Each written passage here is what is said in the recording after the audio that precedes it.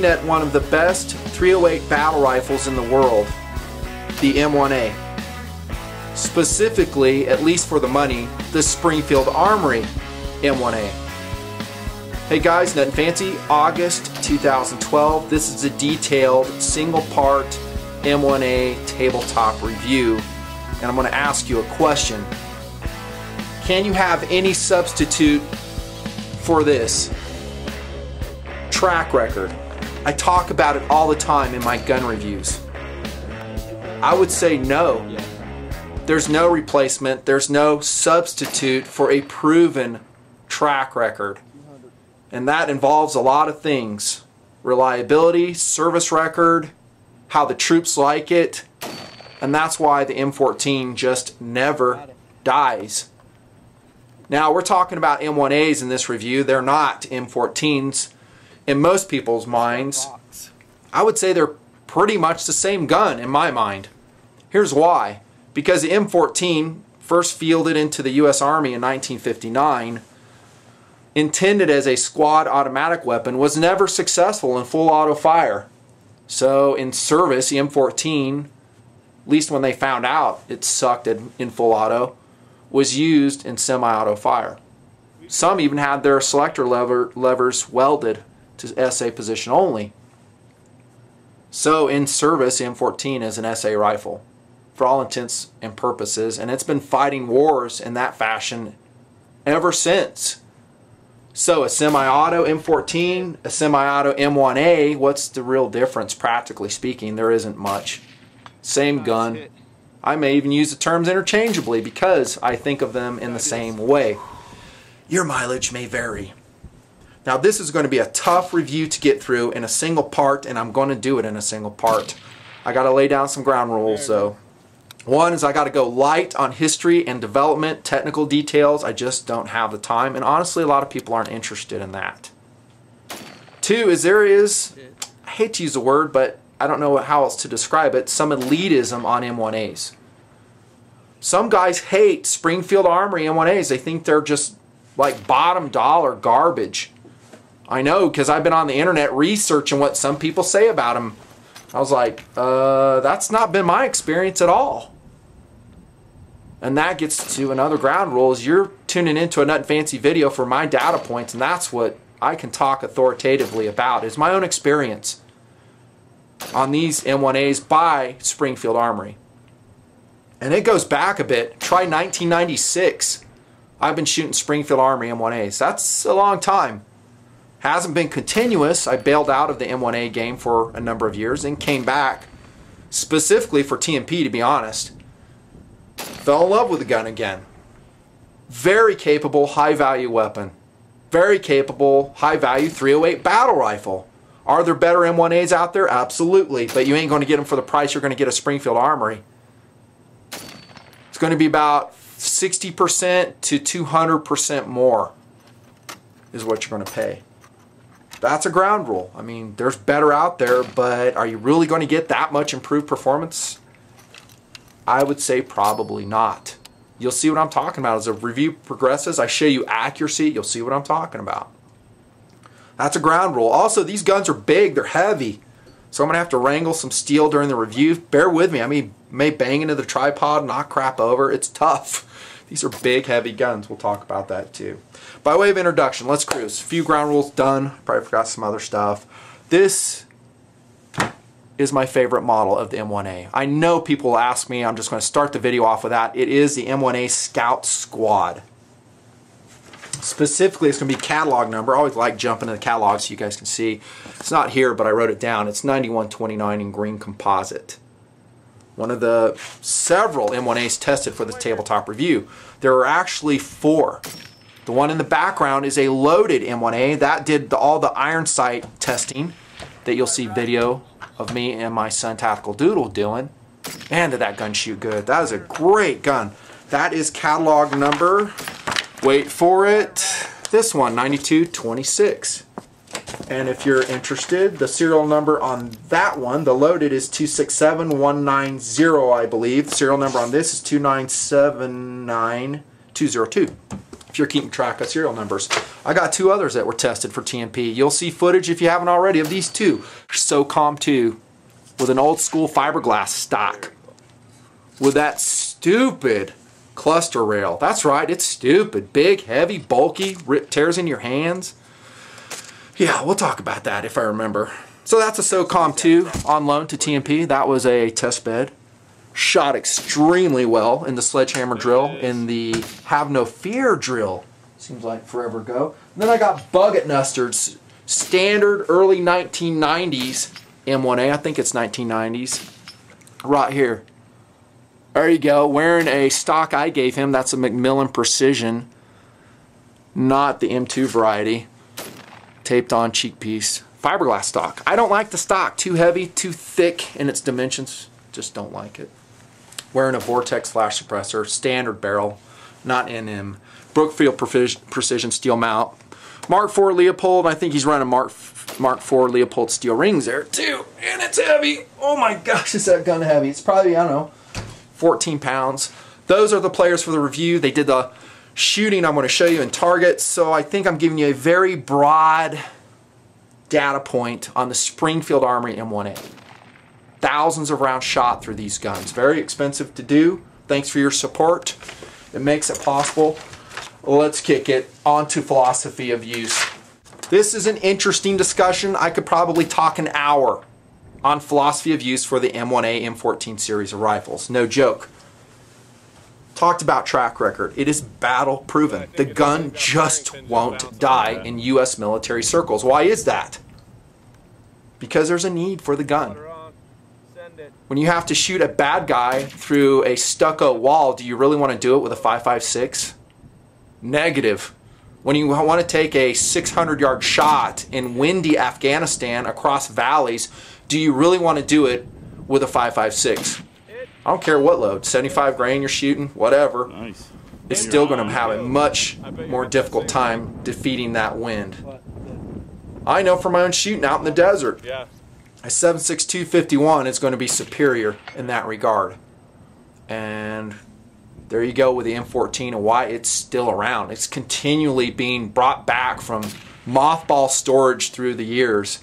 Hey, we're done with the M14. Oh wait, we still need a rifle out there.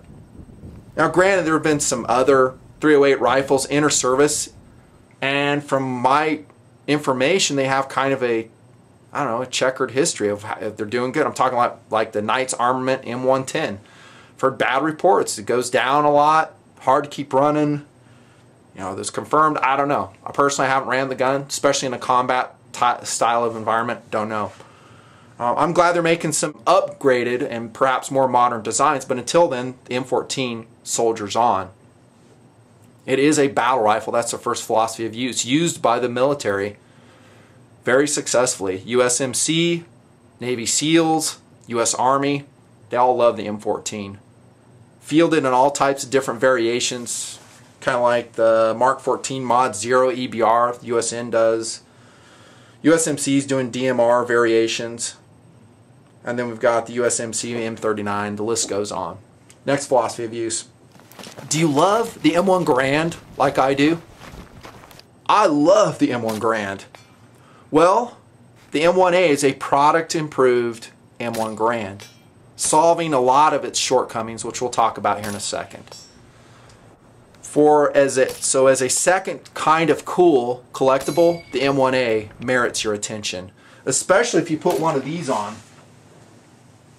A walnut stock. These are gorgeous. Available from several vendors. You can get yours ordered from Springfield Armory. I probably ought to jump in the catalog really quick, by the way, and show you those stock variations. There's that beautiful walnut stock by Springfield Armory. And then you have the synthetic stocks right there. But if we're talking about collectability, the lineage of the M1 Garand, you probably would want to go with a walnut stock. Would I want to run it hard out there in the desert and just thrash on it? Uh, no, I wouldn't. Because you're going to show wear and tear just like this composite green one is showing from Operation Red Skies. I'll zoom in. But man, is it good looking. And does it go in line with that M1 Garand?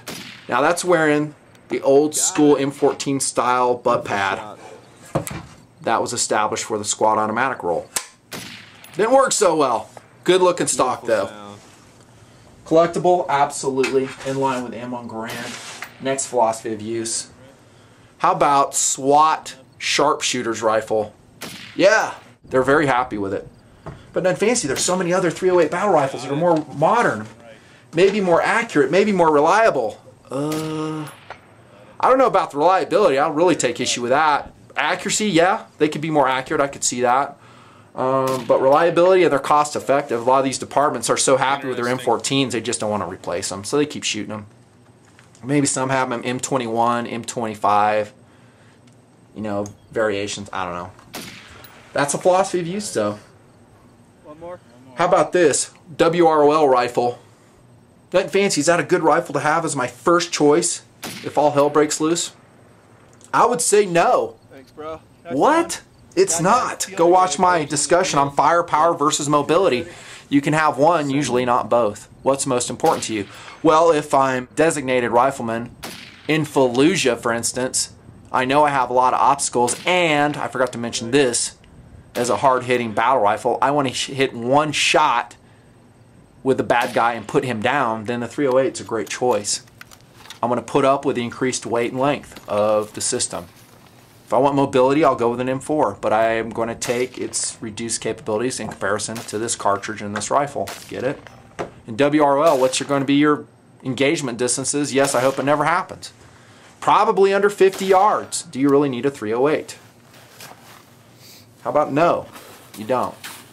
An AR-15 would be a better choice. It's going to be a lighter weight choice. The loaded magazine with an AR-15 is 16 ounces. This is 26 ounces, almost twice the weight. And just like they found out in Vietnam and why they kind of cooled to the M14, it's a big rifle to carry. The ammo's heavy. The magazines are heavy. So when the M16 came out, yeah, they were a little bit excited about that. Granted, maybe a little bit too excited if you ask me. They should have kept the M14 on forever. There you go. As a raw rifle, I would say no. And then finally in POUs, I'm probably forgetting some. I would say competition rifle, Camp Perry. Been competing with M14s, M1As forever. Very successfully in national match configurations. Three gun competitions have it in their heavy metal matches, absolutely. And then finally, I should say hunting, I guess. Slap a five round magazine in there, go tote your M1A over hill and dale. You'll have a blast with it. That's philosophies of use as I see it. On to innovation and design. Man, I got to cruise through this review. There's so much to talk about. I'm not the technical expert, but my way of thinking, this is indeed a product improved M1 Garand. It solves a lot of the problems M1 Garand had, namely, first and foremost, its lack of rounds. The M1 Garand was limited to the 8 round en bloc clip, and the sucky part about that is you couldn't top that clip off. Either shot it all the way out or you popped it out with that little button on the left side of the receiver and filled it up and reinserted it. That was a hassle. It was a complaint by the troops forever. So when they started their T series of experimental weapons, which were designed to replace M1 Garand, they finally got a magazine that worked right. And that magazine carries 20 rounds. That's a huge improvement over the M1 Garand. Product improved. Other things that it does is it brings to the table a bolt catch on the left side of the receiver. The M1 Garand never had that. Also in this bolt, don't know if you can see it here, is where the bolt interfaces with the op rod, it's now a roller, not a tab. It's right there. That's an improvement. The op rod itself is now straight, less prone to breakage and bending. That's an improvement over the M1 Garand. Gone are the two-piece handguards, which caused accuracy problems in some of the M1 Garands, rattling around. You remember that two-piece top handguard? That's gone. Now it's a locked-in single-piece upper handguard, but is, in my estimation, doesn't rattle around ever. Simpler, easier design. It also has a self-adjusting gas system, so it'll prevent overgas situations. Yeah. The M14, M1A series of rifles. Flash suppressor or muzzle brake, take your pick. Back in the 50s, of course, it was a standard flash suppressor. We'll look at it on that rifle right there when we get to ergonomics. That was a bonus. And this one doesn't have it, but bayonet lug, so you could fit a bayonet over it as well. Product improved, M1 Garand, absolutely. And that will take me to a discussion on, I guess, materials and quality. And we're talking about specifically the Springfield Armory guns. These are overseas produced, by the way. I think it's been that way a long time. The receivers, in my research, are made in Quebec, Canada, and they are investment cast 8620 steel. Do I need a forged receiver on my M1A? Well, let me tell you this. I would like it at this price point. It's a very important thing to understand. You know, maybe we get back to the elitism that some folks have with the M1A. They say, well, I would never shoot an investment cast receiver. Garbage, man. It's I would never. It's not mil spec. No, it's not. Forged was mil spec. I'm with you on that, but I will tell you this, they perform quite well. And if you hate investment cast parts, I guess you hate Ruger firearms. Most of Ruger firearms are investment cast in their receivers. Mini 14. It's been that way forever. Do they fail? I ain't seen it. In all the thousands of rounds I've shot, and people I know that have shot them personally, I've never seen a failure of an investment cast M1A receiver. Is it more accurate? No. Is it more durable? I don't know. How many licks does it take to get to the center of a Tootsie Pop? Go ask the owl.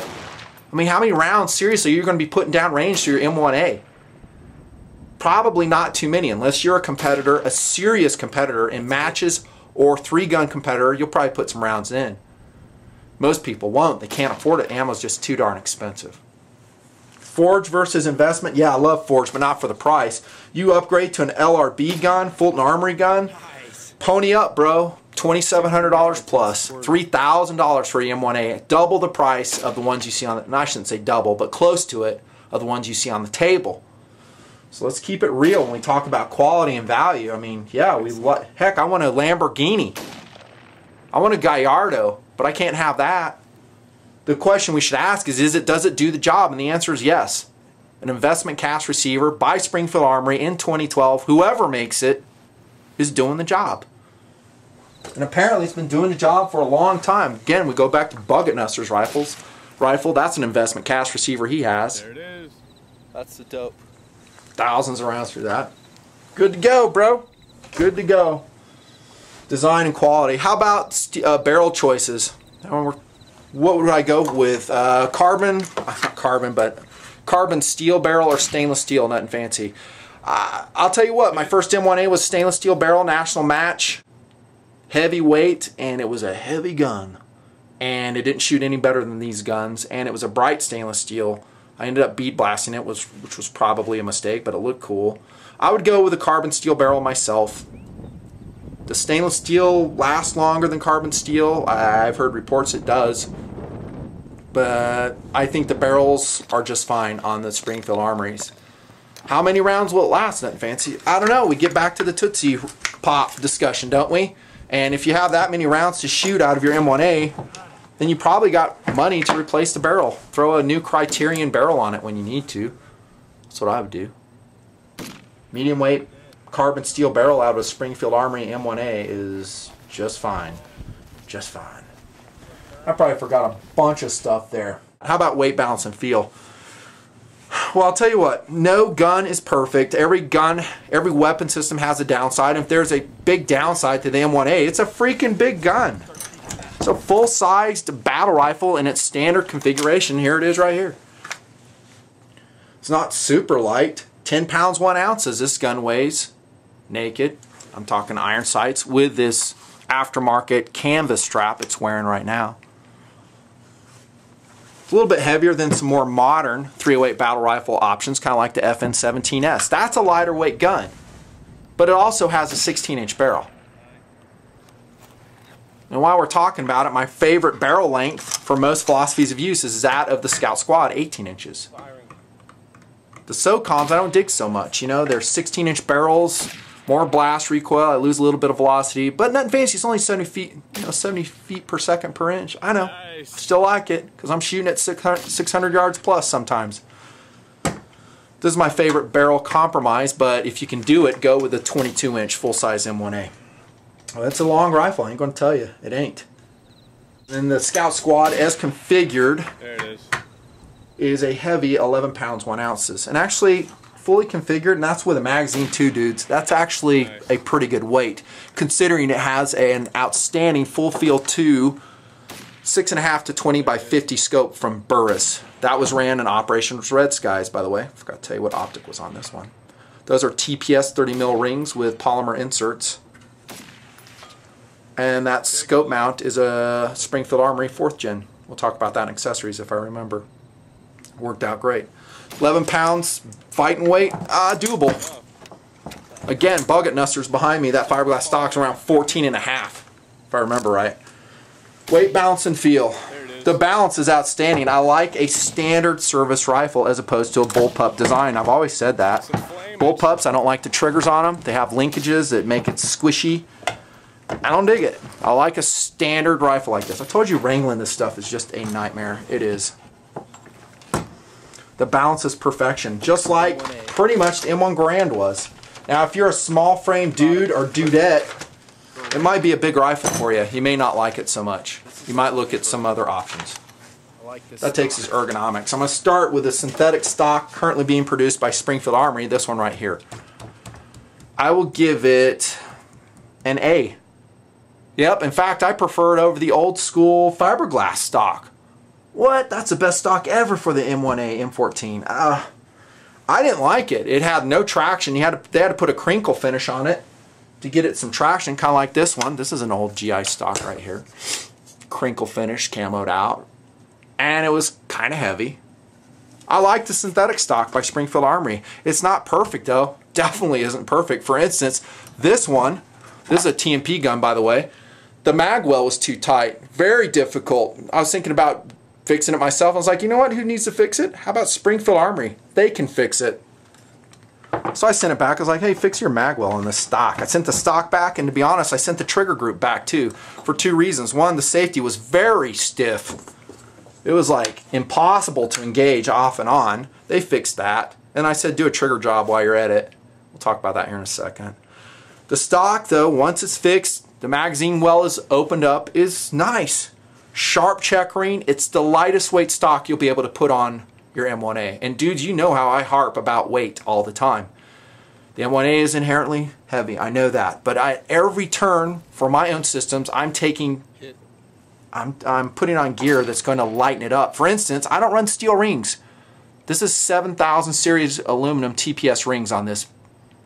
That saves me, I don't know, three ounces, four ounces over those Mark IV rings that Buget chose. Ugh, running that. I'm going to continue to lighten it up. Anything I can. If I can get it down to a 9 pound fighting weight with this glass on it, rocking. The stock is excellent. Length of pull is very comfortable for me. I'm six foot three. For you, it may not be. The butt pad is outstanding. In a long day of shooting, it softens up the gun so much.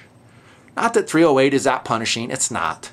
But if you shoot, I don't know, 400 rounds in a day, it is.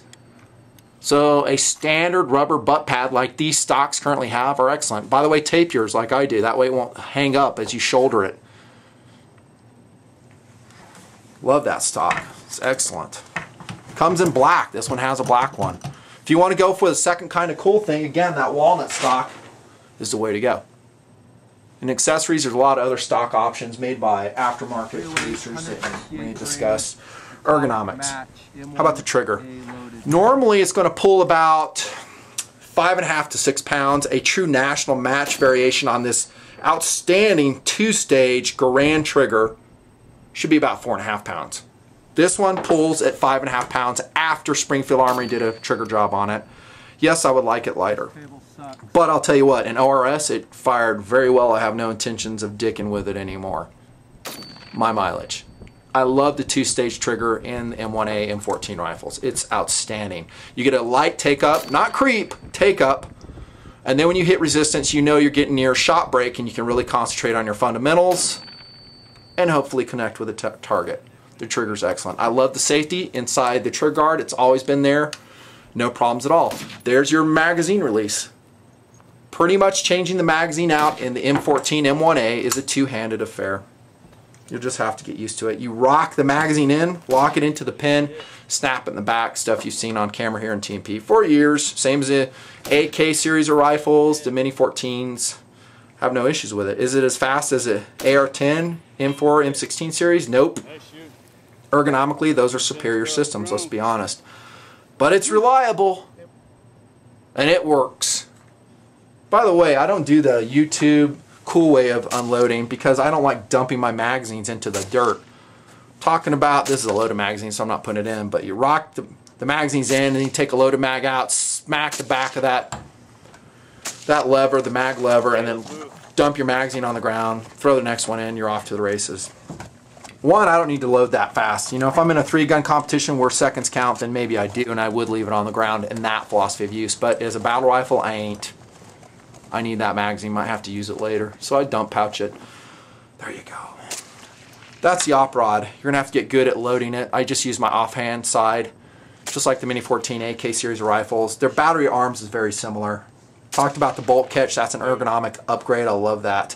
Scout Squad, love this rifle. It's, it's versatile. One is you get the option, if you want, of running a Scout optic forward. Nutnfancy, why don't you do that? Well, one, I don't like it that much, to be honest with you. I just don't. You're not going to have that much versatility in LER optics you can put up there. You know, you can run it like a Randy Shugart, just run an Aimpoint up there. Close range battle rifle. Cool, that's awesome. And now, if, if seriously, the POU on this gun was that, 100 yards in, I would probably do just that. Do a Aimpoint or perhaps a uh, EOTech right there. Good to go. Me, this rifle's calling, especially in Operation Red Skies, was connecting out to 600 yards. And so as such, I wanted a standard piece of glass with good magnification and ballistic reticle, light gathering capabilities, which you saw in those series of videos was totally used. We were shooting under moonlight with this glass. And this glass shredded everybody else's optics they brought out. It just did. Great, you know, capabilities. So I'm going to mount my optic the way I do now. But if you want to, ergonomically speaking, you have that option. You might have the heat transference, so coming from the barrel gas assembly up to the mount, through the rings to the optic if you're really cranking some rounds off, just something to watch out for.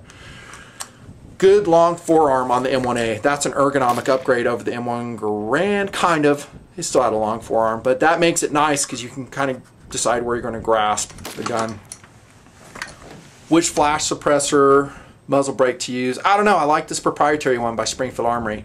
It seemed like it worked. I don't think it reduced flash that much, but it reduced muzzle climb. That was a plus. And the standard one, I guess I need to show you, is on the loaded version right here. This is a national match flash suppressor. What's that mean, Nutnfancy? Well, M1A guys know. It's just bored out more. A standard M14 flash suppressor is not that wide and bore. And sometimes if it's not perfectly aligned, you can get bullet strikes as shown by fouling on your flash suppressor, which obviously can ruin accuracy. I like that one. It looks good. And by the way, the M14 M1A series of rifles is iconic in its looks. It is just a gorgeous rifle. It looks serious. It looks mean just with iron sights and that flash suppressor on there. That takes us to the outstanding sight, ergonomically speaking, of the M1A by Springfield Armory. Inheriting those wicked awesome M1 Garand sights. This one I put some fluorescent paint on. Why would you do that, Nutnfancy? Because I'm shooting against steel out in the desert with this iron, and it's really tough when you go beyond 200 yards sometimes to see the front sight. That's why. Works great. Easy mod, easy to take off if you get tired of it. The back sight is just like we saw in the M1 Garand. Check out my review on that. Outstanding, positive, sure clicks, aperture peep sight. half MOA windage, one MOA elevation on a standard sight set. If you go NM, it'll be half and half. Love the iron sights. Probably the best iron sights on any 308 battle rifle. Ergonomics. I got a cruise. Let me put in a new player here. I'm going to take off the Scout Squad, and here comes the SOCOM 2 with that goofy cluster rail. Oh, I knew I forgot something. Ergonomically speaking, I hate it. Adds a lot of weight to the worst part of the weapon possible, and that's the front end. So your swing weight is going to suck. It'll cut up your hands, it's wide, it looks cool. I guess in life and in video games, but I just hate it. I don't like the cluster rail. Go with the SOCOM 16 plane if you're going to get one. There we go. But we're talking about firepower. It's going to be 20 rounds on par with any other 308 battle rifle, and you're going to have to make some choices on which magazines to run in it. This one here, this one here, I think it's a Borg Warner. You can look at the identifying mark right here. I don't want to waste airtime. Yeah, BRW is what that says, I think. They're almost black in color. This is a GI magazine, probably produced in contract in the 1970s. I got this at a gun show, new in wrapper. And it was just re-imported from Israel, who resold them back to the U.S. and it went to the surplus market. Great magazines. Other GI magazines that are excellent are Checkmate from New York. Those are marked CMI. OM or W, those are Winchester. Harrington and Richardson are also excellent. You know what's also excellent is this one right here. Send it. This is a Chinese magazine I bought in the 90s. I have several of them. They came packed in Cosmoline. They have no markings on them. They're light gray, parkerized in color. That's a Chinese mag. So if it's packed in parkerization, no matter what the guy says, those are excellent. They've been 100% reliable for me. In fact, the magazine itself, the heart of a semi-automatic rifle with the M1A, is reliable. Mostly. I will say mostly because in Operation Red Skies, I did have some failures, I think, to feed the top round. I don't remember if I jammed in an extra round really tight in there. I really don't know. But it happened and then it went away. It was like two times the entire expedition yeah. of ORS it happened. Everything chokes once in a while. That's just what it what happens. Incidentally, happened with this FN17S and it happened with another M1A and it happened with a DPMS and the only rifle we had run 100% was a DPMS LR308 classic out. custom firepower is excellent. I love the 10 round magazine. Get them from Springfield Armory. Sometimes you go in they're going to shave off like that. That's just the way it is. Just the way it is. That's all I'm going to say about firepower except this. Remember how heavy these are. 26 ounces. Be in shape dudes. Be in shape. If you're adopting this, you've opted for the firepower equation. That is the capabilities of the 308 cartridge and a rifle that can launch it. It ain't light to carry. It just isn't. By the way, these are difficult to load, and I recommend highly, let me grab it, highly, the Lula loader. There you go, right there. Totally works with M1A magazines. Materials and quality, I think I covered pretty much durability, reliability of the Springfield Armory M1A. Like I said at the intro, I've been shooting the guns since 1996. I took a long break and then for the Nutnfancy project, I've been shooting them a lot in the last two or three years. From my own shooting, I would say the reliability and durability of this gun is excellent. That's right. I've seen no failures. Now that's not to say you won't experience any. Uh, I just can't predict it, but from the thousands of rounds I've sent downrange through the M1As that I've tested for this review, they've been excellent. Nice. Yes, I know the gun is overseas produced by large measure. Solid has Korean hits. parts, Canadian receiver. But as long as quality control is up there, what do we care? Other than yeah. from a political standpoint. Now, if this gun's 100% produced by union labor in the United States of America, it's probably going to be very expensive. It just is. I mean, look at the Fulton Armory's M1As. They're outstanding guns, but they're going to cost. They're USA produced. I think the cheapest one they have is $2,700. The Peerless National Match by Fulton is 3,350. The question you have to ask yourself is, does this Springfield Armory gun perform to the level of a forged receiver US produced M1A, whether it's Fulton Armory, LRB, maybe a custom one. You know, I don't know. I haven't shot those guns. I would expect them to shoot more accurately, but as far as reliability, No issues. Nothing meaningful. I mean, like I said, I had a couple failures to go into battery. You know, couple out of, you know, 600 round shot and ORS, whatever we sent down range. That's pretty good. It's on par with any other gun I've shot out there. So I would say excellent. You know, is the stock going to last? I would say yes. The barrel going to last you? Yep. Are you going to have a receiver crack on you? I would say no. Is there going to be any trigger group problems? I would say no. From what I've seen. So that pretty much covers reliability. On to accuracy we go. I'm going to take you back to 2001. I'm going to cruise through a bunch of targets. These are all Springfield Armory M1As. This is the one I ended up selling. I got no footage to show you. I was not happy with that group. That's at 100 yards. I was shooting CAVIM. You know, maybe that's acceptable. I'm weird. I expect a quality rifle to shoot, I don't know, mil-spec ammunition a lot better than that. This was 22. This is April.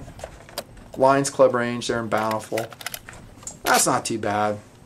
Wait, I take that back. That's horrible. I think that's why I got rid of that gun. That was at 50 yards.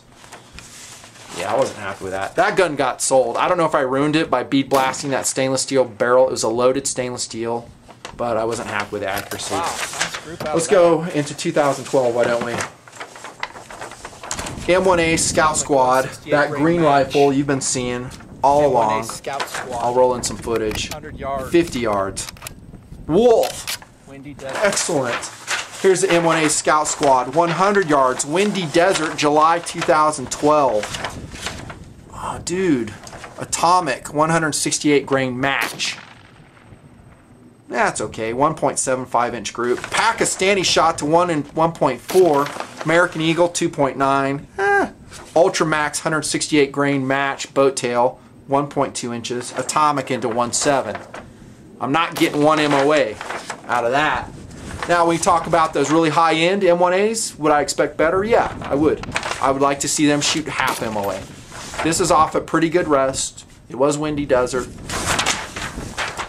By way of reference, here's the M1 Garand Special CMP. This is in February. I shot that off iron sights, of course. That's just kind of remembering its heritage, its lineage. 106 yards, M1A Scout, Scout Squad. This is getting ready for Operation Red Skies. Radway Green machine gun ammo. 1980s British manufacturer, shooting about 1.2 inches. This was me moving. There's a group right there for you. There's another group. I got a cruise running out of time. 106 yards. Wolf. Out of the scout squad. That's pretty good in my estimation. Shooting about one and a half to two MOA with that stuff. Man, I got a lot of scout squad targets. 100 yards. Wolf. This is a side-in round, so that's a great group for that. Good. XM762, not shooting so great out of that gun. That's a federal round. Mil spec. XM80 didn't shoot so great out of it either. You might have to experiment with some loads. What shoots best? XM762 Ultra Max. This is a really nice load. It usually shoots pretty good. I was not happy with that group. Here comes the M1's M1A Standard. This is Bucket Nuster's gun with that McMillan stock you saw on it.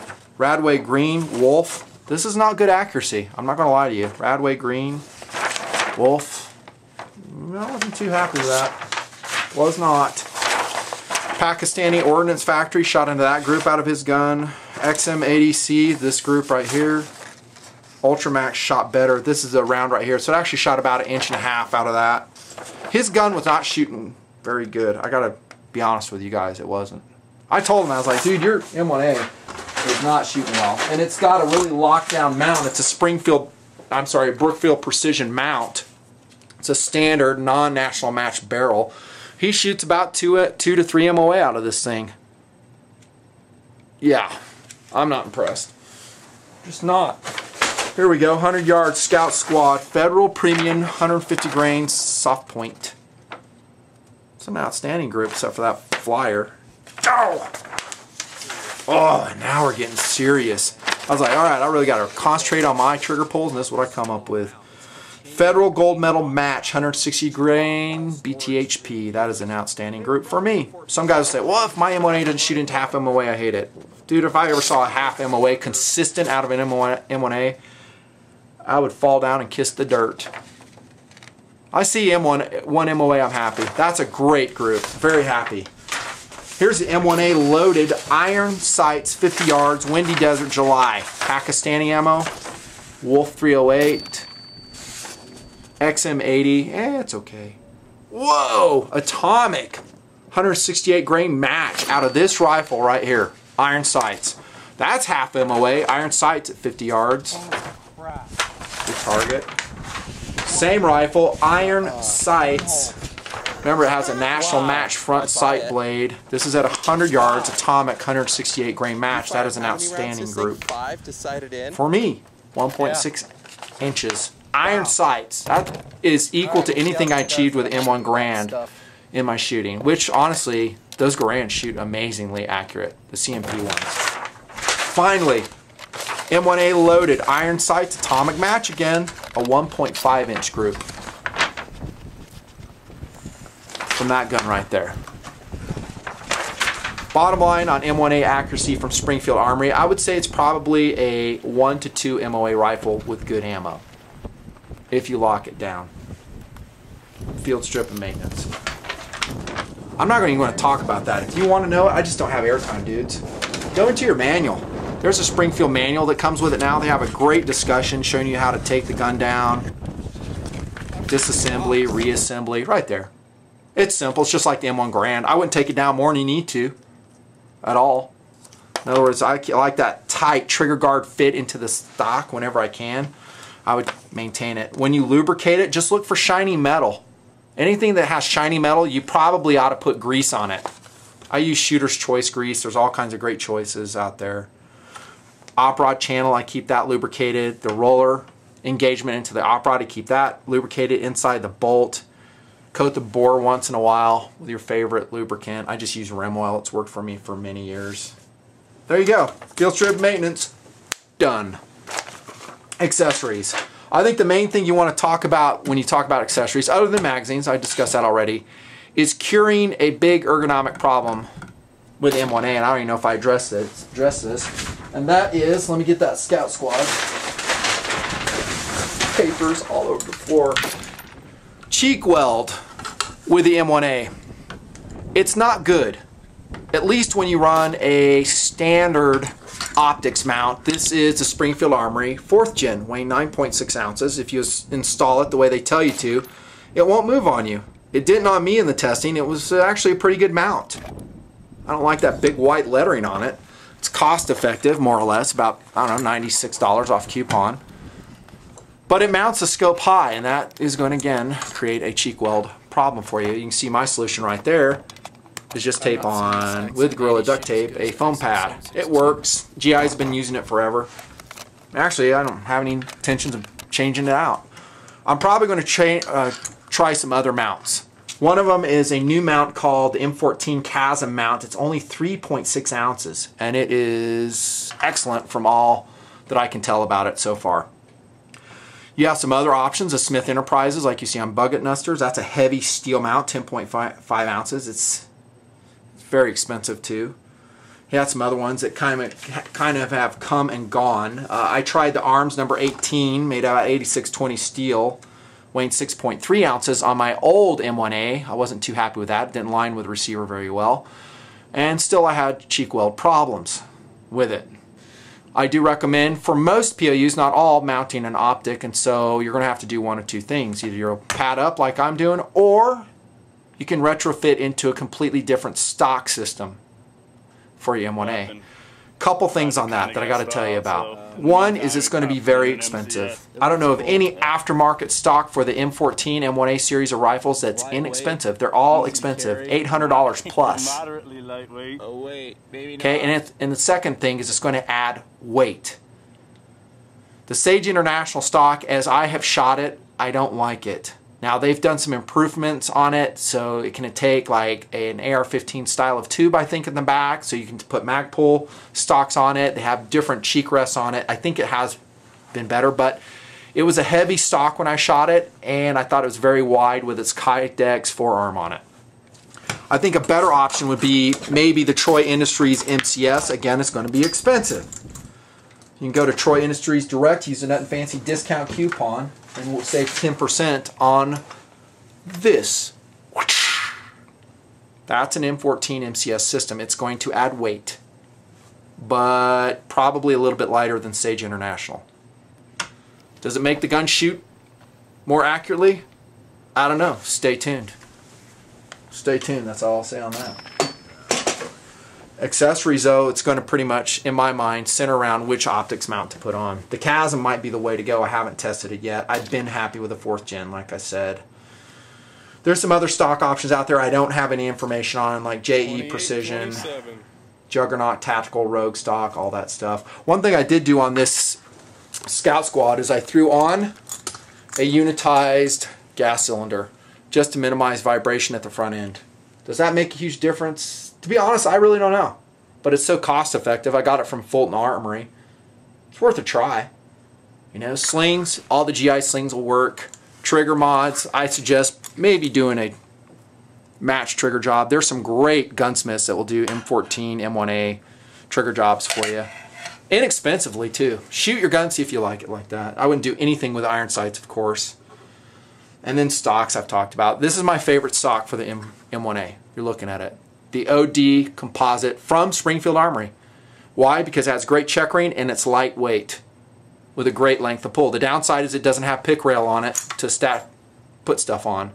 If I was really motivated, I could put a little section right here to run a light on if there's room on the backside.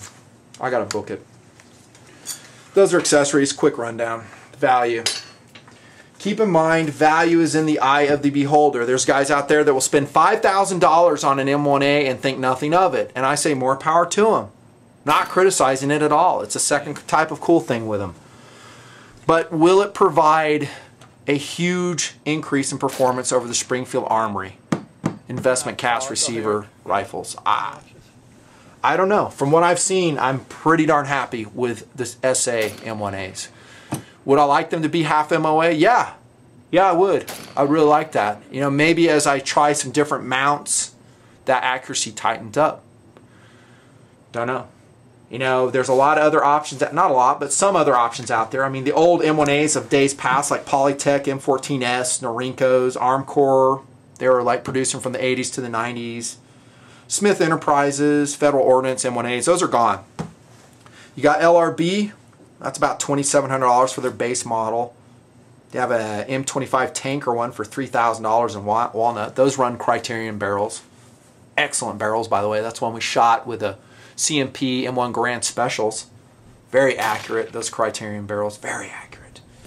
Fulton Armory has a whole selection. Scouts, $2,700 as of 2012. M2 Walnut, $3,000. Peerless National Match, 3,350, like I said earlier. They also make a Mark 14 Mod 2 EBR at $3,500. What would you choose over that then, Fancy? Cost no object. Would you go Scout Squad or would you go EBR? EBR is like the what the Navy SEALs use. It has a Sage International stock on it, an 18-inch barrel, Vortex flash hider, paddle bolt stop, Harris bipod, Kydex handguard, there's a civilian version, I think, that Sage markets. It's called, if I'm not mistaken, Mark 14 Mod 0 SEI. I would go with this gun, dudes. I would. It's lighter weight. Lighter weight. The only way I'd get really excited about any chassis system is if it really tightens up the accuracy. The value on the Springfield Armory guns, I think, is out of, it's good. They're still pretty expensive. You're going to spend around $1,500. My favorite versions are as follows. SOCOM 16, I prefer that over the SOCOM 2. Hate the cluster rail. Do you really need it? No, you don't. If you want a real short CQB 308 rifle, this is the way to go right here. Deal with a blast, loss of velocity. My favorites are these. Scout Squad, like I've said. Synthetic stock are my favorite, 9129. Walnut's just handsome. Next, it'd be very close second is any loaded M1A. Outstanding value. Air gauge, national match barrel, all the other stuff I said that it comes with. Could get a drink. Yeah, national match trigger, front front sight. Great value. Love the walnut stock. Man, I'm hoarse. Standard M1As, decent. Those are good. To me, it just makes a lot more sense to spend a little more money and get a lot more gun with the loadeds. And you get that coupon too. Then you get into the specialized Springfield Armory M1As. National Match, Super Match, Long Range tac Tactical, M21s. These are a lot of money. I just go loaded. I think value's good. Got to wrap it up. Track record. The Springfield Armory M1As, in my mind, are just like the M14s of years gone by. They inherit everything the M14 did and continue to do on battlefields across the world. It's the semi-auto version of the M14. Cast receiver, yes. Overseas produced parts, yes. But my estimation, pretty darn accurate. Not supremely accurate, but very reliable. One of the best 308 battle rifles currently produced. It's heavy, it's big, but when you hit, hit hard and connect, you might want to go M1A. Yes, by Springfield. This is the Nutnfancy Review. See you. Thank you.